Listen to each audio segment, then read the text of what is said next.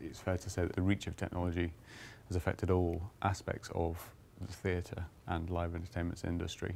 Um, you know, ticketing, marketing, producing, the, the whole range, but specifically within the area of theatre production, um, it's hugely increased the the palette available to creative teams, to directors and designers, the, the scope of the ambition of the things that they can create. I mean, it's, it's similar to the changes in architecture in the last 20 years. If you think about buildings 20 years ago and now the amazing shapes uh, and variety of materials that architects can use, a similar transformation has happened in theatre on a kind of smaller and slightly lower budget scale. Um, and it's matched to you know the weight of expectation. Um, I think you know in the areas of like scenic construction, the technologies that we use now compared to 20 years ago uh, have totally revolutionised that industry with the advent of uh, CAD drawing, computer-aided drawing, um, CNC routing, computer routing, laser cutting of metal, um, 3D printing, which is, is, something that's on the horizon and beginning to be used by scenic workshops. I spend a huge portion of my working day answering emails. Um, I can remember a world before email. When I first started working in theatre, I remember sending my first email in the offices of the Almeida Theatre um, in like 1997, maybe, six, seven. Um, and that's, that has had a, an epic change on the way people in all industries and indeed in theatre communicate um, do their work and move ideas forward.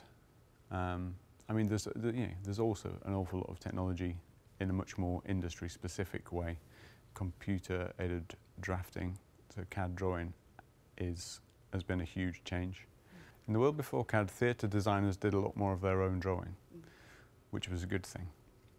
It meant that uh, they had to because each time you put a line on a piece of paper, be that with a pen or be that with CAD, you are making a decision, you're making a choice about how things will work and where things will go. And the advent of CAD has meant that a lot of more established theatre designers now don't do their own drawing and they therefore delegate those job, those responsibilities and choices to somebody else. The big difference is the complexity of structure you can, we can now draw both in 2D formats, so as plans and sections, but also in 3D formats, um, right through to kind of pre-visualization software that really allows a creative team to effectively build a 3D computer-generated rendered model of the set, which they can view from any seat in the theatre before they build the actual set, um, which is a great technology if, you know, if used in a timely fashion, i.e. early enough in the process to actually make choices on the back of it. Um, but I think it is a shame that you know that designers don't draw their own plans so much, and sometimes results in, in instances of things not being quite how they would like.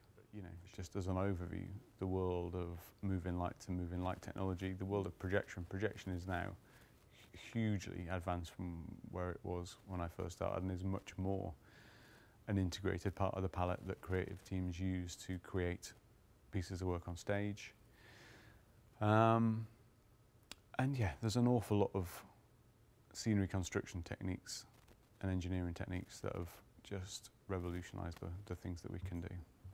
Uh, you know, and as these new technologies come along, it's about theatre practitioners and creative teams finding innovative ways to work with them that, that, that make the work better, make the play better, because people don't come to see the technology by and large, they come to see you know, the whole thing.